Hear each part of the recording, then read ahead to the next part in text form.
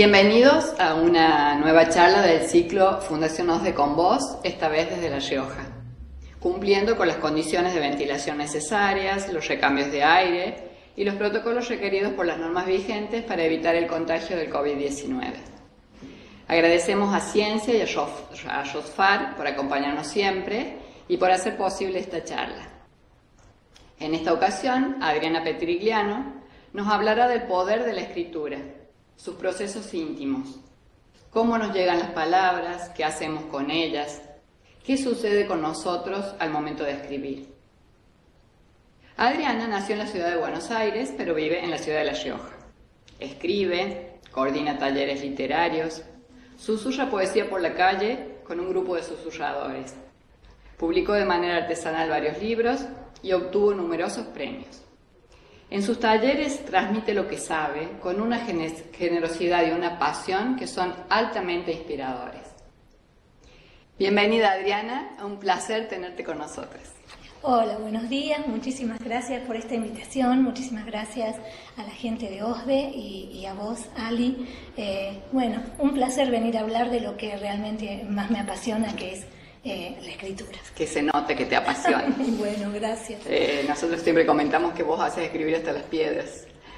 Eso, me han dicho alguna vez, pero yo también siempre digo que no, que en realidad el mérito no es, no es de uno, sino el mérito es de quien, quien quiere eh, recibir esta pasión. Sí, pero es, de las dos partes, me parece. Bueno, muchas gracias. Este, bueno, en esta charla queríamos saber en qué consiste el poder de la escritura, ¿no? Y cómo, cómo nos, eh, bueno, cómo nos toca, cómo nos, eh, qué tienen las palabras, qué, qué, qué están hechas. Es, algo muy, a, veces es extraño y a veces es absolutamente natural si uno lo mirara desde, desde este lugar en que lo vamos a mirar. Estamos hechos de palabras, somos palabras, no podríamos nombrarnos sin las palabras. Eh, entonces, el poder de la palabra es absoluto. No podríamos estar acá compartiendo, no podríamos eh, vivir eh, ningún momento de nuestra vida si no utilizamos las palabras. aún creo en el caso de aquellas personas que no pudieran pronunciarlas o no pudieran escucharlas. La palabra es lo que nos define. Entonces, cuando, cuando uno mira el proceso de la escritura y lo que hace en uno, se da cuenta que el poder es total y es absoluto y, lo traemos casi incorporado. Eh, yo siempre pienso en, lo que las mamás decimos eh, a nuestros bebés cuando, cuando los estamos gestando, que tenemos un vínculo desde una afuera y desde una adentro, extraño, misterioso, por siempre será misterioso, pero hablamos con ellos, eh, ya estamos transmitiendo, ese niño está escuchando palabras de ese afuera que va a ser el mundo al que llega. Entonces el, poder es absoluto, no podríamos negarlo.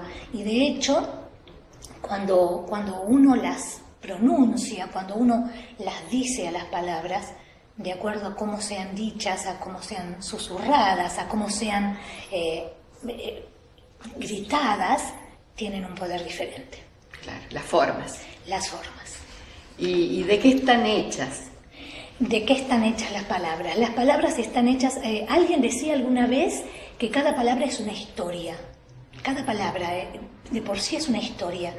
De pronto si yo digo cuchara, yo estoy nombrando algo que, cabe en, mi mano, que tiene la forma del hueco de mi mano, que sirve para llevarme alimento a la boca.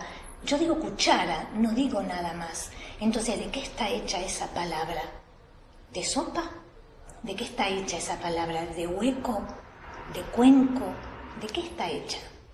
Todas las palabras están hechas de la historia que traen consigo y, también del valor que les damos. Como el sentido. El sentido, el sentido. De eso están hechas las palabras. Em, hay, un, hay un ejercicio hermoso que yo repito mucho en los talleres que se llama el revés de las palabras y que nos hace mirar una palabra, dar la vuelta, eh, ver esos nuditos por atrás con los que fue atada la palabra, la anatomía de qué está hecha una palabra. Eh, de eso están hechas las palabras, de cómo nosotros las miremos y decidamos usarlas. De hecho, eh, diariamente eh, las usamos como queremos, al decirlas, ya, ya corriéndonos de la escritura, y también están hechas de la intención con que las decimos. Hay una intención al decirlas, hay una intención al pensarlas, hay una intención al, escribirlas. Y ahí ya no hay inocencia. Al escribirlas ya no hay inocencia. Claro, hay veces que hablando coloquialmente se nos pueden escapar. Se escapa. al escribir es como diferente, hay otro proceso. Hay un proceso y hay un, ya hay un uso específico. Yo la palabra corazón, si la voy a utilizar en un texto, eh, yo, Adriana Petriliano, en un poema, la palabra corazón no la voy a usar en el mismo sentido que la va a utilizar el cardiólogo cuando da un informe o cuando la va a em, alguien que, tiene que rellenar un formulario de salud para un seguro. O alguien que va a la carnicería.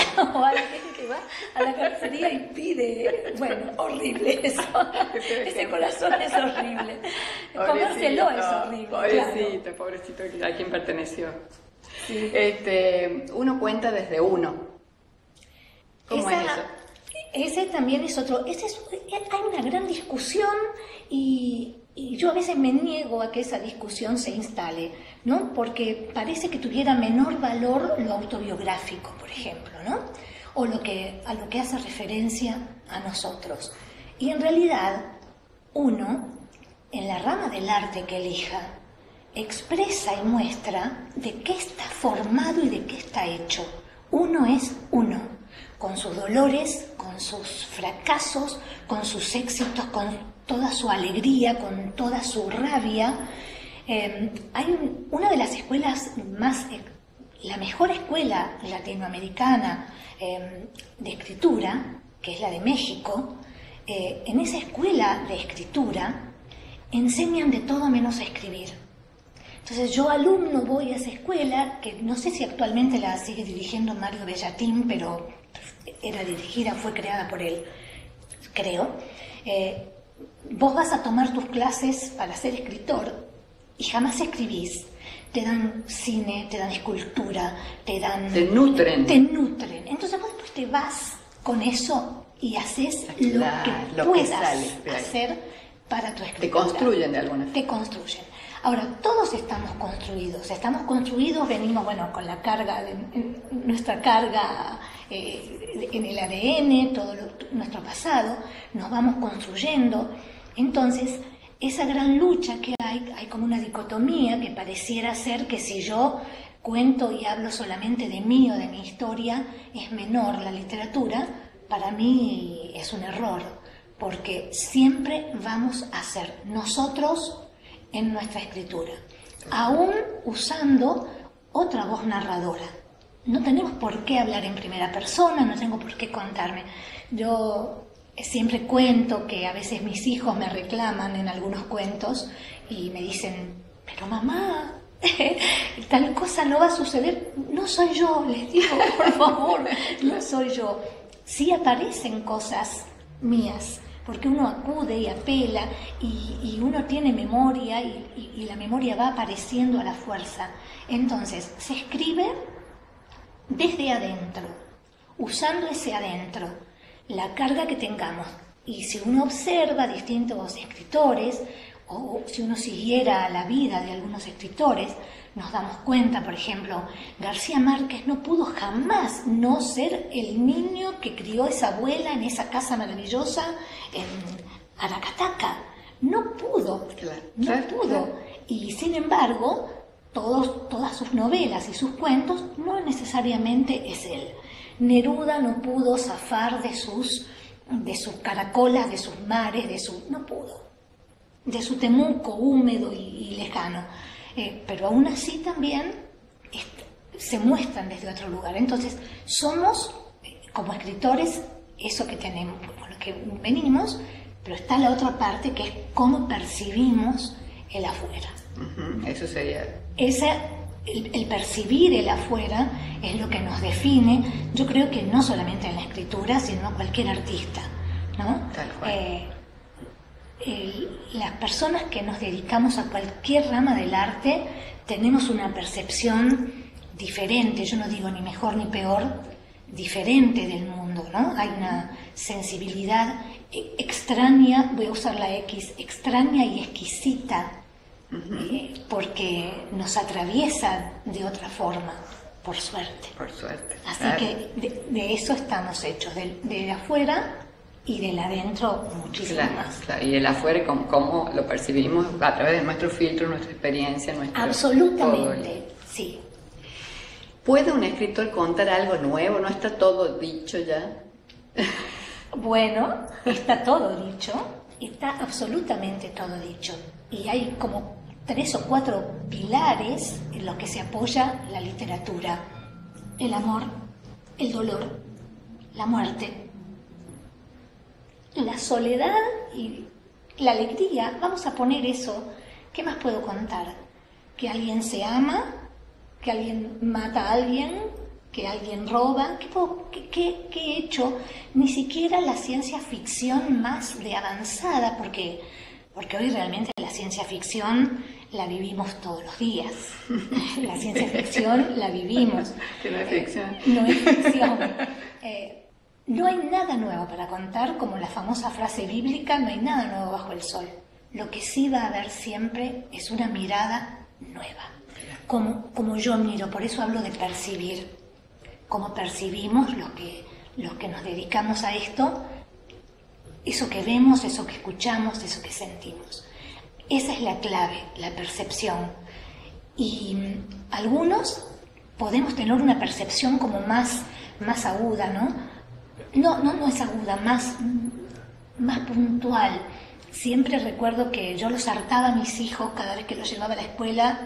Después yo dije, no, no lo hago más. Yo todos los días, a mí el cerro nuestro me fascina. Yo tengo una conexión.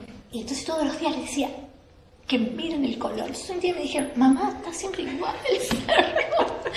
y yo no podía comprender que mis hijos no lo vieran diferente.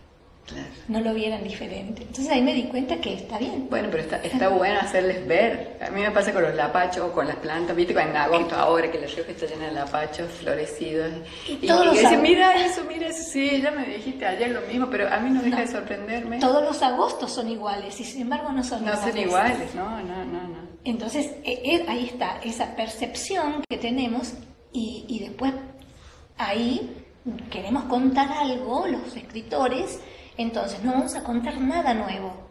Y a lo mejor vamos a contar eh, cómo Ali miraba los lapachos en agosto. Y, lo habrán contado miles de veces que alguien mira un lapacho. Pero me voy a detener en la mirada de Ali, me voy a detener en por qué Ali necesita mirarlos, me voy a detener en ese día, en ese lapacho, en ese cielo, y ahí empiezan a aparecer eh, como, como eslaboncitos que nos permiten contar lo mismo de, otra manera. De otro, modo. Y por ahí hacerles ver como lo veo yo a otros. Totalmente. Sí, que es hermoso, sí. Eh, las materias primas para la escritura uso lo que soy, es lo que estamos hablando. Claro, claro. Siempre, siempre, uso lo que soy, pero a veces es necesario en la elaboración de un cuento o de una novela eh, o de una crónica, eh, puedo usar hasta ahí. Si uno, uno piensa en Ray Bradbury, por ejemplo, en las hermosas crónicas marcianas, como para nombrar algo que todos hayamos leído que conozcamos, nunca fue a Marte, nunca estuvo en Marte, nunca nunca nada, y, sin embargo usó lo que él era, lo que él sentía, eh, para contar, para hacer esas crónicas marcianas. Entonces, la materia prima, si lo quisiera poner como ejemplo, está en cómo Ray Bradbury miraba el cielo y creía que podía vivir la gente una civilización nueva en Marte. Entonces, usó eso para escribir eso otro que escribió. Lo tengo que usar necesariamente. Eh, me puedo también desdoblar. Eh, yo creo que, salvo contadas excepciones, eh, ningún escritor que narra un asesinato, vamos a poner un asesinato, anda por la vida asesinando gente, Pero, pero también debe usar esa materia prima de, de ponerse es una frase hecha, me pongo en el zapato del otro, no me podría poner nunca en el zapato de un asesino. Sin embargo, eh, no me podría poner nunca en el, jamás me pondría en el, eh, voy a usar, voy a usar eh, autorreferencial, no me gusta, pero nunca podría ponerme en los zapatos de un suicida y sin embargo tengo varios cuentos en los que mi personaje se suicida. Entonces, usar eso, usar a lo mejor la materia prima sería la angustia que en mí provoca eso cuando yo sé de, esos temas o investigo. La materia prima también, aunque suene horrible para, el escritor, es la investigación. No puedo, no, puedo no adentrarme en algo, sobre todo si, estoy escribiendo un texto extenso, una, una crónica desde ya, una novela, un, hay todo un proceso. Nosotros hablábamos del proceso íntimo de la escritura, pero el proceso ese que es el duro, que es el proceso de el, el orden y un, un, mapa a seguir, que es la parte... Claro, ahí más por ahí. Hemingway diría los cinco minutos de inspiración, ahora vienen los 95 de trabajo duro, están ahí, pero también hay que hacerlo. Claro, claro, es parte, de, es parte del oficio, digamos, y además para que resulte creíble, porque después el, lector, si no... Vos dijiste la, la mejor palabra, ¿no? Lo, tiene que ser verosímil lo que yo le cuento al otro. Claro. Eh, en Crónicas Marcianas estuvimos todos en Marte, todos. Estuvimos con Julio Verne, generaciones muy anteriores. Eh, bueno, yo de chica leía Julio Verne, mucho antes de que el hombre llegara a la luna, yo ya había llegado con ya había llegado, y Julio claro. Entonces, pero tiene que ser, te lo tenés que creer. Tiene que ser absolutamente claro, Porque si no abandonas la lectura, pues no. y, y, por ejemplo, con, con, los textos que no son, con, los que no me están contando algo, la poesía no cuenta puntualmente algo, o la prosa poética, hay como otra libertad. Igual, los géneros literarios hay una, hay una frontera muy ya difusa, ¿no? Los géneros literarios ahora son atravesados. No es esto un cuento, esto un poema, no, no. Ahora todo es todo, por suerte. Entonces en la poesía tampoco yo tengo que contar algo puntual, pero tiene que ser tan creíble que el otro tiene que sentir algo. Y en la poesía, si no se siente algo, eh, yo, insisto siempre con que hay que perturbar con la poesía, a favor o en contra, ¿eh? no digo que, sí, sí, que, sea malo siempre. o, que digas, qué perturbador, que claro, me mal. Pero tiene que, tiene que haber... tiene que modificar, tiene que te tiene tocar. Que, vos saliste de la lectura del poema o de la prosa poética y tiene que haber, tienes que haber sido vulnerada en algo. El lector tiene que haber sido vulnerado. Pero tampoco se busca, ¿eh? eh yo aconsejo a todos mis alumnos, si yo busco eso, seguramente no lo encuentro, porque es en la parte genuina de la escritura. Nosotros podemos verlo, se ve diariamente cuando a mí alguien me pregunta la diferencia entre un escritor, entre comillas, de culto y un bestseller. Y el escritor de culto se nota que escribió porque no podía no escribir. Claro, le brota. Hay algo visceral. El bestseller es un texto escrito por contrato, por un adelanto de contrato, por seguir una saga, porque necesito vender tantos ejemplares, así que escribíme esto. es otra intención. Hay otra intención. Claro, claro, sí, sí, sí. Lo universal, hacemos Zoom. Eh, me encanta siempre hacer Zoom, ¿no? Y tiene que ver un poco con esto de lo nuevo o no.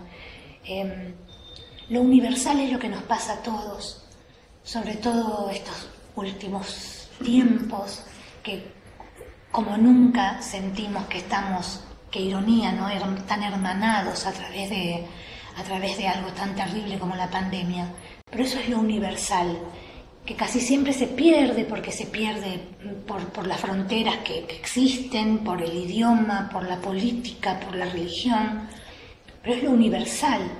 Y volvemos a eso que dijimos antes, los temas, los temas de la literatura son universales. La vida y la muerte serían los únicos dos temas, no hay otro tema. Eso es lo universal. Pero después cuando yo juego mucho a hacer Zoom, porque hay unos, hay un, nunca recuerdo el autor y mira que lo uso mucho, hay dos libros espectaculares que se llaman Zoom. que es un Zoom, es de ilustraciones, es un libro álbum que no Ah. tiene, no tiene ningún texto.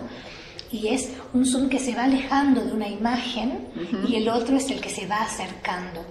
Entonces, en, en la escritura debemos hacer zoom. Vamos a volver a poner la, la palabra corazón, ¿no? Y esto, si alguno quisiera, lo hace como ejercicio. Yo pongo la palabra corazón en mi mano. eh, entonces, eh, yo la miro y la voy alejando y la voy alejando y la voy alejando a la palabra corazón y, per- y trato de percibirla allá, lejos, en el espacio. Me, me va a dictar, me va a decir cosas esa palabra. Si yo la palabra corazón trato de hacer otro tipo de zoom y me meto, me meto, me meto, me meto y me meto y empiezo a ver tac, tac, tac, tac, y empiezo a ver venas y arterias y, y sangre y voy a percibir otra cosa. Entonces, ese, lo universal y lo particular, lo, lo general, ¿qué sería? Lo, lo universal ahora a lo mejor con esto que nos está sucediendo puede tener como un hilo más parejo, pero nunca es parejo lo universal. Ninguno vemos las guerras igual, ninguno vemos los, eh, los problemas de otros hermanos de otros países, no los vemos igual. Las infancias no lo vemos igual. Eh, el hambre no lo vemos igual. Eso es lo universal. Si yo tengo que hablar del hambre cerquita, si yo padeciera hambre o padeciera el dolor, si yo lo hago zoom cerquita, entonces ahí está donde yo voy a, mi, mi escritura va a ser diferente. Por eso hay, por suerte, eh, yo veo todos estos jóvenes que aparecen con una nueva forma de hacer literatura a través del hip hop y de otros géneros que entonces uno siente siente que hay una manera nueva de expresarse con una fuerza y una dureza y hay algo puntual. Están ahí, están contando de lo universal lo suyo. Pasa en nuestros barrios, pasa en nuestros barrios más alejados, pasa, está pasando. Y, y se siente como late todo eso. Entonces, ahí es lo, eso es lo, ya lo puntual. El zoom se hace más chiquitito. Cada uno cuenta lo que puede contar. Claro, claro, es que de su subjetividad. sí. Absolutamente. Eh, hacer, colejo las palabras, bueno. Veo qué pasa con esto. Trazo mapas, hago marcas. Eh, también eso, trazar mapas, yo siento ya de manera personal que, que a mí los lugares me van dictando, eh, me van dictando lo que tengo que escribir. Y es una, eso es un buen recurso para quien nos esté escuchando y quisiera comenzar a escribir, trazar sus propios mapas. Em, to- todos vivimos, todos vivimos en diferentes lugares, aún viviendo en el mismo lugar, no hace falta ni viajar ni mudarse, pero los mapas, eh, los mapas de lo cotidiano, los mapas de los lugares donde habremos vivido, los mapas de las casas que habitamos. Hay un texto maravilloso de Daniel Salzano, que un escritor cordobés que murió hace dos o tres años, un escritor increíble que su texto habla de que quiere volver a su casa. Entonces la esposa le pregunta, pero, pero si estamos en casa, ¿a cuál casa querés volver? Y él va para atrás a todas las casas que habitó. Entonces, como un buen ejercicio es pensarse en las casas que habitamos, esos mapas. No somos los mismos en ninguna casa, Tal cual. aún siendo la misma. Entonces, eh, eso, es, eso ayuda a soltar. eh, cuando yo comienzo taller con grupos nuevos o con gente que nunca escribió, por ejemplo, o que tiene eh, el miedo este de enfrentarse con... No es una frase hecha a la hoja en blanco, ¿no? Algunos también menosprecian, pero hay que sentarse y escribir en una hojita en blanco. Entonces, esos son buenos puntos de partida, trazar un mapa. Y después las marcas, las marcas. Eh, si uno se piensa a través de sus marcas, tenemos infinidad de marcas, las visibles y las invisibles. Y para un escritor, esa también es la materia prima, las marcas. Las marcas. Lo que no- nos marcó que no se ve y lo que nos marcó me, me caí, me La fracturé cicatriz, la la cicatriz. cicatriz interna y externa, Tengo digamos. la cicatriz, yo ahora que se me ha dado por los tatuajes, Muy bien. estoy, eh, eh, todas, todas esas marcas. Entonces, mapas y marcas serían como, como algo hermosísimo Como para disparadores. es un disparador hermoso y, y es terapéutico. Y es terapéutico y yo nunca, hasta después de mucho tiempo, supe que era terapéutico. Eh, yo, yo comencé a dar mis talleres hace tantos años, pero yo sentía que era terapéutico para mí, de hecho lo había vivido como terapéutico para mm, problemas que estaba atravesando en esos momentos Como sanador. sanador, pero tampoco me daba cuenta, porque encima, bueno, mi madre era escritora, entonces en casa estaba todo el tiempo instalado esa cuestión de la, la máquina de escribir, que yo insisto El- el tanto, ruidito. el ruidito. Y mamá era muy volada y se la pasaba escribiendo todo el día y se le Esa es la música de fondo de sus Claro, vidas. Esa era la música de fondo de La nuestra también, con papá escribano. Claro, bueno. Entonces, eso estaba, pero yo empecé a apropiarme de eso. Pero después de muchos años de dar taller, me di cuenta, pero no me di cuenta de manera. Yo no me di cuenta, sino que hicieron otras personas que me dieran cuenta cuando comencé a recibir mensajes o llamados. eh, yo tengo muchos alumnos, por ejemplo, psicólogos y psiquiatras, y ellos me llamaban y me preguntaban si me podían mandar algún paciente, y a mí eso me empezó como a, a dar una sensación extraña y a la vez hermosa si uno sabe que puede contribuir con algo. se puede ayudar. Después tuve yo talleres en diferentes lugares, en contextos de encierro, yo di muchos años en la cárcel. Ajá, qué fuerte. Eso, es, eso fue una experiencia muy fuerte y muy hermosa. Sí, me imagino. Eh, di en, en centros terapéuticos, di talleres con personas que no comprendían lo que yo les estaba pidiendo. Y sin embargo, en un momento había una conexión, eh, no tanto con la escritura, porque no podían en algunos casos escribir, pero al yo leerles textos. Entonces, definitivamente es terapéutica la escritura. Definitivamente es sanadora, es sanadora, porque además al escribir nos vaciamos. Exactamente. Nos vaciamos. Sacamos lo que... Y, ponemos, muchas veces hablábamos de- de- de- con las amigas, cuando hablas, sobre todo las mujeres, viste que los hombres hablan un poco menos, pero sacar y Sí. pon- ponerlo afuera para poderlo ver, para, para Sí. poderlo entender muchas veces Sí. lo que nos pasa adentro, que hay veces que no podemos... Sí, y además sucede otra cosa, eh, que también lo cuento siempre de manera personal. La muerte de mis padres a mí me atravesó de una manera muy particular, siendo grande, siendo abuela, y yo descubrí eh, que, porque siempre asociaba la palabra huérfano con los niños, para mí los niños eran huérfanos. Y- Claro, llega un momento que sos adulto, eh, mayor y era sos una abuela huérfana. Eh, entonces la muerte de mis padres a mí me, me atravesó poderosamente y me atravesó para la necesidad de escribir. Pero también me di cuenta que había textos que yo no los podía escribir en primera persona, no podía ser Adriana la que contara esto. Entonces yo necesitaba, necesitaba alejarme, necesité la tercera persona, le pasaba a ella. Esto, se le había muerto el padre a ella. Entonces, eso también es sanador, porque ella lo cuenta y se lo sacó. No hablemos solamente de la muerte, nos pasan cosas todos los días, todos los días. Y si uno puede, así como si fuera la charla con las amigas, que las mujeres tenemos, y dejamos, ya está, te, te lo pasé, si lo pasamos a una hoja, podemos descubrir eh, no solamente que nos, vació de algo que nos estaba haciendo ruido, nos daba dolor, o no, o rabia, porque, porque uno siempre cree que hay que sacarse el dolor.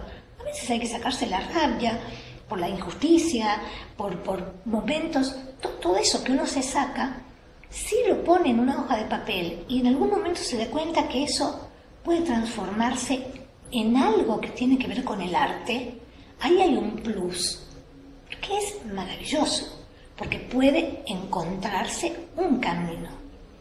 Y el camino sanador siempre va a ser el arte, siempre. a como sea. Sí, sí, Sí. Qué maravilla, ¿no? Gracias a Dios lo tenemos. Sí. El uso de los sentidos.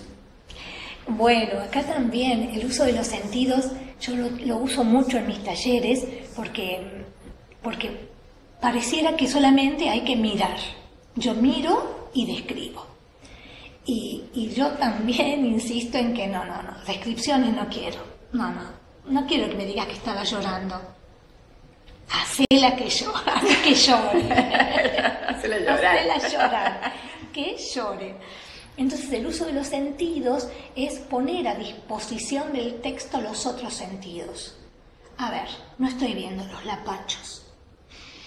Siento el perfume de los lapachos. No, no, huelo los lapachos ni los estoy mirando. Cierro los ojos y escucho el sonido de los lapachos. Si uno se tomara apenas un ratito durante el día para escuchar, para oler, para tocar, para tocar, ¿eh? para tocar, a tocar lo que sea, tocar una fruta para saborear. Antes de saborearla, la toco, la huelo, la miro.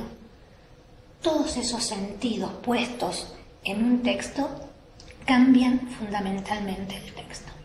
Uno de los ejercicios favoritos, que también yo lo, dejo para que quien quiera eh, contar algo muy brevemente, ¿no? Lo cuento.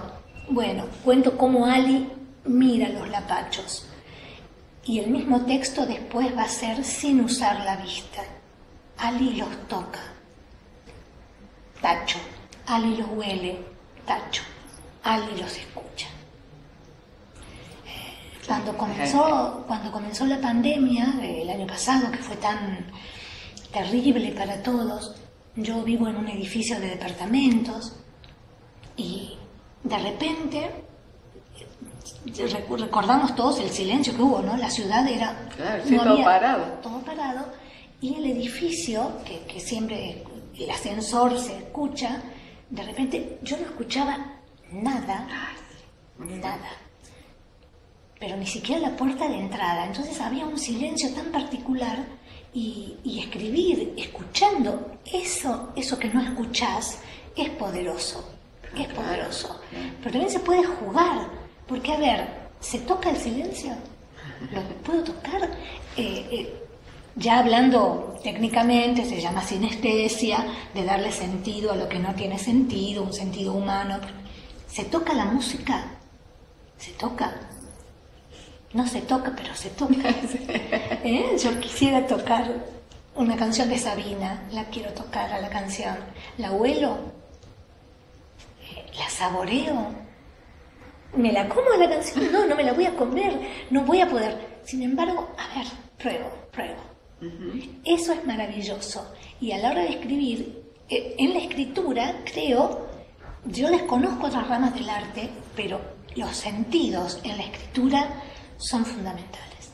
Ah, son fundamentales. Son como herramientas que tenemos ahí para explorar en todo Totalmente. Totalmente. ¿Y crees que la pandemia nos ha dado esa posibilidad de parar un poco, para detenernos a poder, porque viste que la vida nos lleva puestos en esta vida moderna, que no tienes tiempo de nada, que no te puedes detener a abrazar un árbol o a escucharlo? O a, eh, ¿Crees que, que, este momento de parate nos da posibilidades de, de explorar otras cosas? De... Yo creo que nos dio, nos dio. Yo dividiría, nos dio y hay que saber cuántos tomaron esa pausa. Al principio todos creímos, recuerdo que nos... Yo, yo me recuerdo, eh, yo, soy, bueno, yo soy muy llorona, eso, pero me recuerdo llorando muy, muy, de manera muy fuerte. Eh, cuando, cuando veíamos los cisnes, los delfines, cuando veíamos los animales, cuando veíamos animales en lugares que, que, avanzaban sobre que las avanzaban. Eh, recuerdo, por ejemplo, esas Pascuas cuando el Papa solo, solito en el medio del Vaticano, más allá de la religión, con esa lluvia que caía y la plaza del Vaticano vacía. Todo eso fue tan fuerte que yo dije, esto no puede no cambiarnos. Em, veíamos las ciudades, ¿no? Las ciudades, los, los, puntos más eh, turísticos, si se quiere, vacíos. Eh, yo dije, esto, esto nos cambia, pero la realidad es que cambió muy poco.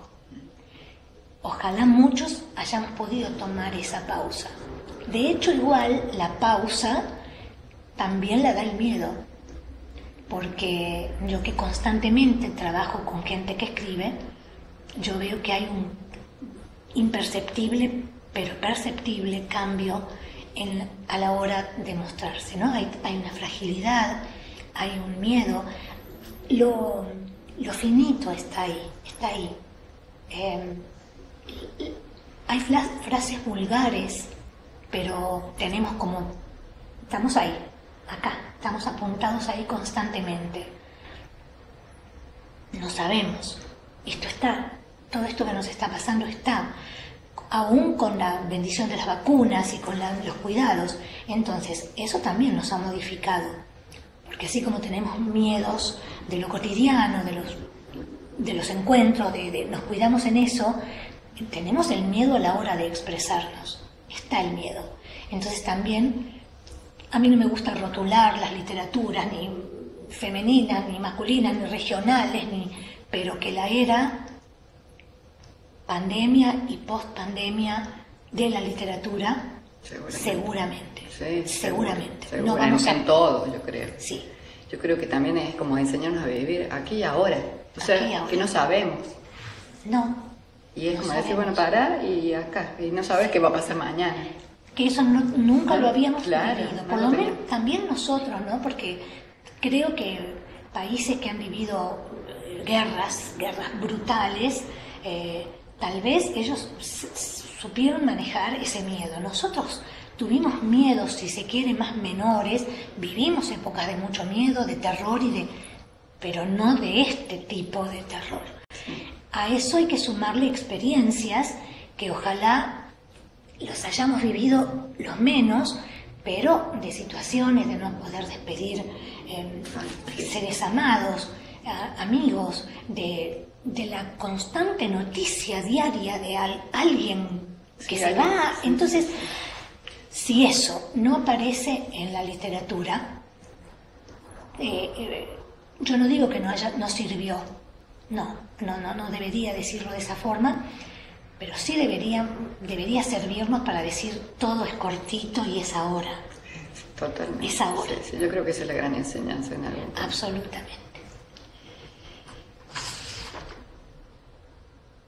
Miro. Imaginariamente, basura, moños. Ay, miro, miro. Eh, yo siempre cuento dos, dos, puntuales, dos anécdotas. Em, yo te había dicho antes que eh, uno escribe en momentos en que no está bien, yo mis primeros textos tenían que ver con una época mía de que yo estaba como muy atravesada por problemas y por angustias, y ella había escrito todo lo que tenía que escribir de eso y no tenía nada más para escribir. Y estaba muy apesadumbrada y le digo a mi hija, se ve que no soy poeta. Se me acabó. se me acabó. No tengo que escribir. Y me dice mi hija, en ese momento tendría 12 o 13 años, era chica, es la mayor. Era... Yo te voy a hacer una lista de palabras, mamá. Yo te voy a dar las palabras, vos vas a escribir sobre esas palabras. Bueno, le dije, yo le acepté. Y la primera palabra que me da es moños. Y si hay algo que yo nunca en la vida usé ni usaré son moños, no, no me gustan los moños. Pero dije, esto es un desafío. Y, de hecho, que, en este libro que, que, acá tenemos, yo miré la palabra moños y escribí a partir de la palabra moños. Entonces eso, que lo hablamos antes, me pongo la palabra ahí, la miro, ¿y qué miro? Cuando, ¿Qué veo cuando veo moños? Después siguió la palabra basura, siguió la palabra arena, y, me di cuenta que sí. Había, sí, sí. Todo lo otro que había. Y, otra cosa puntual que me pasó, eh, que esto de mirar, por eso digo cómo debemos mirar, una mañana común de trabajo, de uno ir apurado al trabajo, me crucé con lo que dura el cruce, ¿eh? lo que dura esto, un señor alto, mayor, muy morocho, con, con ropa como lo que percibí en ese momento y tenía una semi sonrisa. Época antes barbijo. Antes barbijo.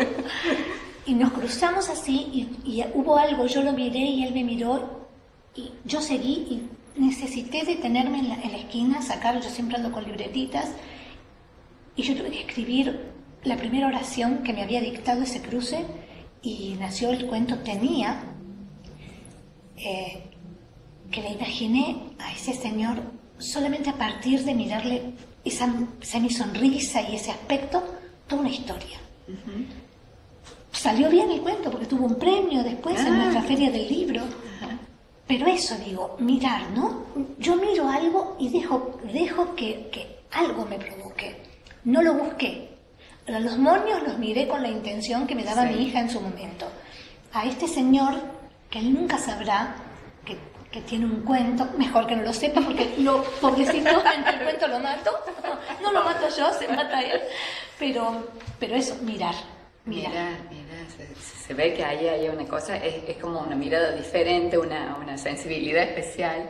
Sí. Para, bueno, sí, lo que hablamos al principio. Hablamos que, sí, Seguramente, pero también creo que se puede ejercitar. seguramente, pero, pero estar abierto a esas cosas, así, eh, como, como con, otros ojos, vivir la vida eh, de otra manera. ¿no?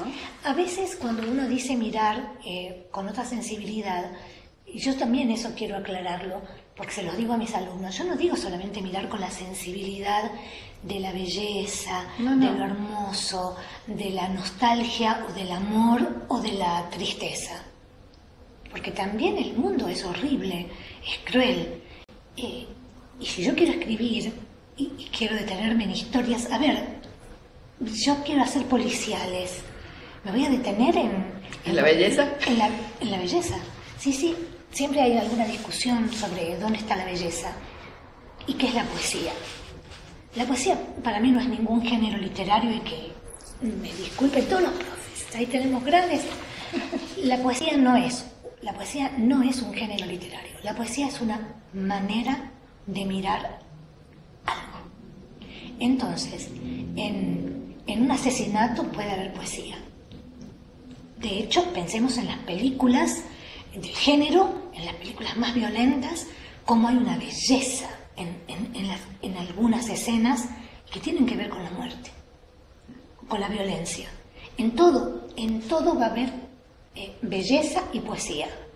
¿Por qué en la basura no debería haber belleza? Si de hecho somos un gran basurero y, somos un... nos estamos reciclando. Todo, ¿de, qué, ¿De qué estoy hecha sino de la basura de hace siglos? Y, somos, somos, somos eso en algún lugar va quedando todo. Entonces, eh, eso, no solamente creer que lo dulce, lo suave es lo sensible, no, y, los, hay mucha violencia, lamentablemente, hay, hay, muchos problemas, la juventud hoy tiene problemas que no teníamos, no, yo cuando, cuando era joven no los tenía o no estaban o no los veíamos, y también hay belleza en esos problemas, en esa tristeza de lo que pasa.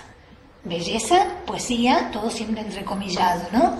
Y no tengo por qué embellecerlo a eso, pero sí debo mostrarlo. ¿Por qué no lo voy a mostrar? Claro, es parte, es parte de Es parte. ¿Cómo escucha un escritor? Eh, bueno, lo, lo, contamos un poquito antes, ¿no? Eh, escuchar desde otro lugar yo me acordaba esta mañana, em, uno puede escuchar esto que, nos sucede, el silencio de la pandemia, el, ruido de las ambulancias que pasan y que uno siempre dice, ojalá sea poco lo que esté pasando. eso, es, escuchar algo. Yo puedo escuchar em, cómo late mi corazón, puedo abrazar a alguien escuchar cómo late el corazón puedo escuchar cómo no late más el corazón de alguien, pero también puedo escuchar la palabra. Hay uno de los más maravillosos cuentos de Daniel Moyano, que es la cantata Los hijos de Gracimiano. Ese cuento es la historia que le contaron a Daniel sobre esa familia. Entonces él escuchó, él escuchó eso. Y él después hizo esa obra de arte que hizo. Y yo creo que eso eso es escuchar.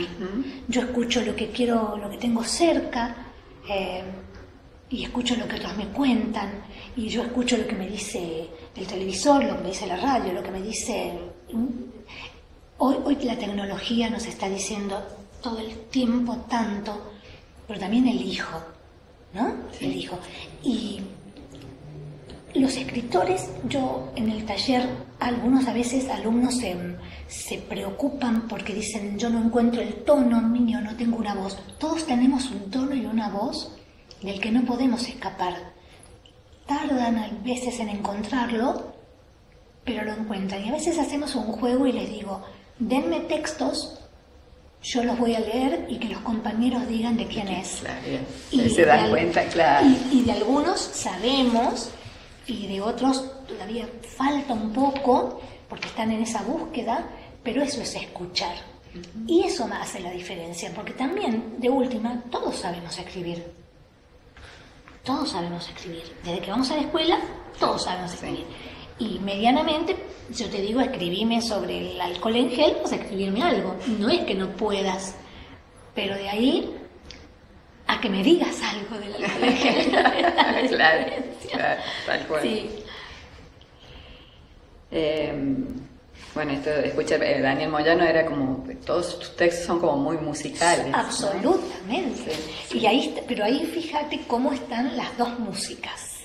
Está la real, la música real, que siempre rondaba por su, por su, condición de músico. Condición de músico Y está esa otra, esa otra fuerte, que es la música que, que él levantaba de, de los conflictos humanos, de la, de la tierra, del paisaje. Esa es otra cuestión increíble. Ahí está la belleza, la belleza, la poesía y todo, y, en, lo cruel de la vida. en lo cruel. Nuestros escenarios. Ah, es el escenario. Y eh, las cosas suceden, las historias suceden, y si nos corremos, la poesía sucede en el único escenario posible. Y vamos a decir, ¿cuál es? Hay uno, uno solo posible.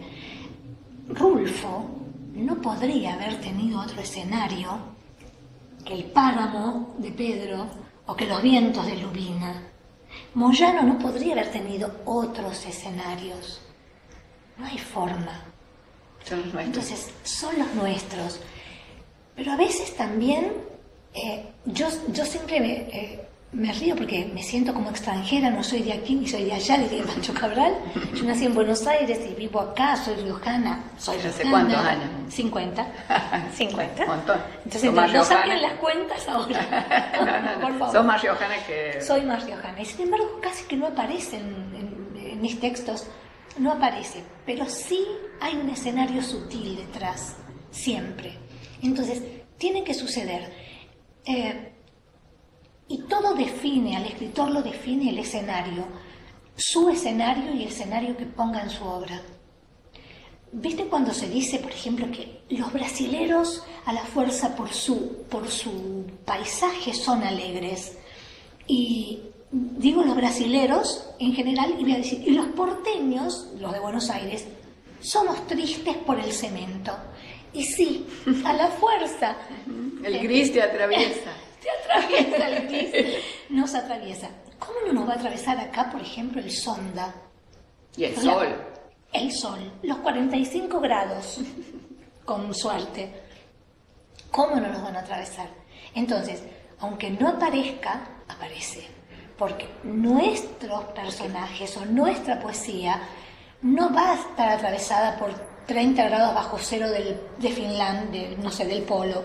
Va a estar atravesada por, lo que somos. Por lo que somos. Hay un agobio por el calor que no sufren los, los londinenses. Y nosotros no, no, podemos estar agobiados por la bruma londinense porque, no, la conocemos. Entonces eso también nos define. Y también a la hora de buscar, yo lucho mucho, pero lucho, insisto, y creo que de a poco se está logrando en que aparezca siempre la referencia de nuestros, nuestros lugares.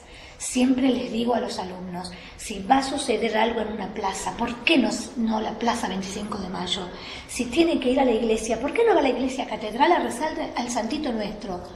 Por ejemplo, porque eso nos afianza, nos afianza. Moyano puso, sin ser riojano, él también era prestado como yo, puso el escenario. Eh, Pauletti, en cuántas historias aparece también el escenario. Entonces, eso, yo creo que el escenario tenemos que dejar que nos invada y tenemos que dejarlo salir, después. Sí. Los personajes. Y ahí los personajes también está esa otra mezcla. Siempre vamos a hacer. Hace muy poco me invitan de Mar del Plata, hay un sitio hermoso que se llama La Palabra Precisa, y me invitan a escribir un cuento. Eh, me dice, este es para el ciclo de vacaciones de verano, así que tienen que... Es para el ciclo de vacaciones de verano. Yo dije que sí automáticamente y después, coma, pero me dicen, tenés que escribir un cuento que hable de las vacaciones de verano, pasadas, presentes y futuras. Entonces, yo ya pensaba buscar un archivo y que mandó este cuento que hablaba de... No, tenías que ponerte tenía que escribir. Entonces, bueno, me tomé el compromiso, escribí el cuento. Y en el cuento, obviamente, yo vengo de Buenos Aires, yo conocí La Rioja en enero. En enero. Qué primera impresión. Cuando llegábamos en el colectivo Cotil, que la gente fumaba, que paraba tres horas para comer allá, dos horas, era un viaje de... Cotil, le decían la cotilza. La porque era Cotil, Sociedad Anónima, y le decían la cotilza. Encima me volví en tren, pero estuve enero y febrero en La Rioja. Entonces yo comencé a escribir y ahí usé parte de este cuento, mis vivencias. Esas y otro poquito más que puse. De hecho, yo no tengo quien a mí me lea ni me corrija, entonces le mando a mis hijos, por ejemplo. Y mis hijos, ay mamá, ¿por qué escribís tan triste? No te vamos a llevar nunca a un geriátrico, porque el personaje del cuento termina en un geriátrico. Ay chicos, le digo, no soy yo. Siempre me Sí, mamá, pero ¿por qué esto, esto, que yo? No, entonces los personajes, nosotros somos un poco los personajes. Pero después los dejamos, le damos vida propia. Yo no pienso ir al geriátrico por, por lo menos por propia voluntad. Así que por favor. Pero, pero no hay que tenerle miedo a usar eso para, para ponerlo en los personajes. Vuelvo a García Márquez. Todos sus personajes sabemos dónde los abrevó, dónde los construyó y como él, muchísimos. Yo lo pongo a García Márquez porque tal vez es, es lo más universal que podemos nombrar y no ¿Cuándo era Aracataca? Era, era Aracataca. La tecnología a la hora de escribir. Bueno, la tecnología, eso que te decía antes, ¿no? En mi casa, mamá, con la máquina de escribir y el corrector, y, cuando sentía el, ruidito y el bollo de papel, que ya que no, tiraba, eran bollos de papeles y... Hoy la computadora nos corrige, nos borra, nos avisa, lo que está mal construido, o sea que ya ahí hay un, hay un cambio tremendo. Un cambio tremendo. A favor, absolutamente, aunque a mí me guste usar el tipo de letra de máquina de escribir siempre. y, si querés ponerlo mal, te deja. También, te deja. Eso, eso por un lado. Pero por otro lado, la tecnología, ¿qué hace? Que hoy la literatura la fuerza tenga otra extensión es una también una discusión que se ha planteado y que yo insisto. Yo no sé si hoy resistiríamos leernos a los rusos, que yo te hago ese tamaño, pero, pero, bueno, o qué sé yo, Stephen King, Apocalipsis, dos mil páginas. Y yo me las leí estoicamente a las dos mil páginas cuando tenía 22 años. Pero hoy no te podría, dos mil páginas, de hecho no podría leer no podía.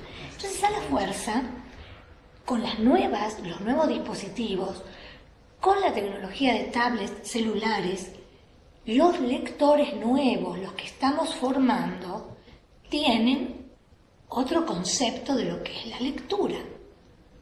Leen de otra manera. Entonces, así. Todo es instantáneo. Todo dura lo que dura hasta que se te apaga la pantalla. Entonces no hay que estar, no hay que estar desatento. hace muchos años, en una feria del libro de Buenos Aires, eh, se abrió con una charla, a mí me había quedado muy marcado, que em, creo que fue Italo Calvino, que se llamaba Que no se acabe el susurro de la lectura.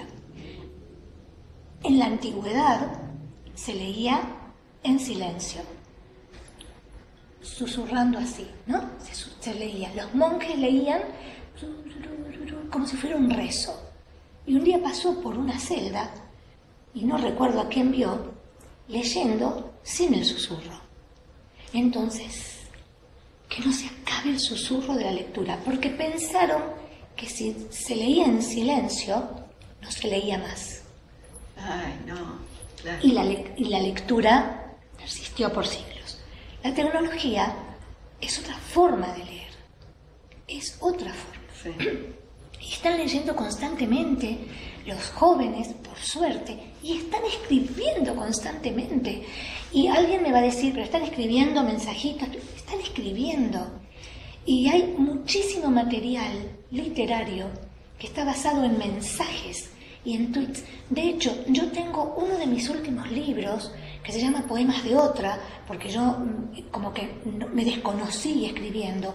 Levanté, levanté y, y no los corregí todos textos que Facebook me iba recordando que había escrito por algo. No sé, siguiendo con los lapachos, hoy florecieron los lapachos y, me salió un breve, nada, tres líneas de poema. Los fui recopilando, le puse de título Plegarias y son textos literarios. Tengo un proyecto con un sobrino que vive en Buenos Aires que se llama Ellos miran desde balcones lejanos que nos propusimos escribirnos cartas por mails, no como tía y como sobrino, sino como es loco porque él es riojano y vive allá, y yo soy porteña y vivo acá. Y los dos tenemos balcones. Entonces el, el proyecto es, nos escribimos una carta, pero no la corregimos. Clic y que salga. Y ya llevamos como 200 cartas. Hicimos unos videos porque ganamos un, el año pasado un proyecto de, del Fondo Nacional del Azar, bueno, una cosa así. Pero si uno percibe, es un mail que nos mandamos, es un mail que cuando queremos nos mandamos y nos contestamos. Pero ahí hay literatura. Seguro. En los tweets hay libros de microcuentos de 140 caracteres que cuentan cuentos. El microcuento, el nanocuento, es literatura y tiene 14 caracteres. Ay, sí, 140 caracteres. Entonces, la tecnología no, no, no, mata la literatura, no mata el lector, no mata la escritura. Al contrario, abre, abre, abre. abre. Yo apoyo, de hecho, tengo alumnos jóvenes que no escriben en el taller, todos escriben en su cuadernito. No, no, no ellos escriben y me fascina verlos porque yo no puedo, con los dos dedos, y ellos escriben ahí sus textos y después los leen de ahí. Entonces, el otro, los, otros estamos escribiendo en papel, ¿cuál es la diferencia? Ninguna, ninguna. Claro, claro. Pero hay una maravilla, sucede una maravilla con la tecnología que también eh, sucede a la hora de formarnos. Si yo cuando era chica a un solo clic hubiera tenido las bibliotecas que tengo a disposición ahora, Claro, es otra cosa. A ver, sí, se te hubiera abierto así fácil. Totalmente. Sí, Qué genial. Me parece que estamos en el tiempo cumplido, ¿no? Bueno. Eh, qué linda esta charla, me encantó. Yo eh, ojalá que ojalá haya inspirado a alguien y haya dado ganas. Eh, seguro, no tengo ninguna duda. A mí me dieron ganas de, empezar un taller. Bueno, cuando quieras, cuando quieran. Siempre las tuve, pero bueno, más se ya se dará. Yo les agradezco primero la amorosidad de esta charla con vos, Ali, y a toda la gente de OSDE eh, y, quiero remarcar esto de cuánto sana y cuánto cura y cuánto ayuda, y en estos tiempos en que debemos ser solidarios con... También es una frase hecha, ¿no? Miremos al otro que está, la está pasando mal, pero no es una frase hecha, la está pasando mal tanta gente, y si logramos que, que se encuentren en una hoja de papel y puedan sanarse un poquito cada día, sí, sí, es un gran, sería un enorme aporte. Sería un enorme aporte. Este, Bueno, eh, muchísimas gracias a todos, gracias a Adriana, mil gracias, me, me encantó y otra, eh, otra vez gracias a las empresas que nos acompañan siempre para hacer posible esta charla. Y bueno, sigamos cuidándonos entre todos.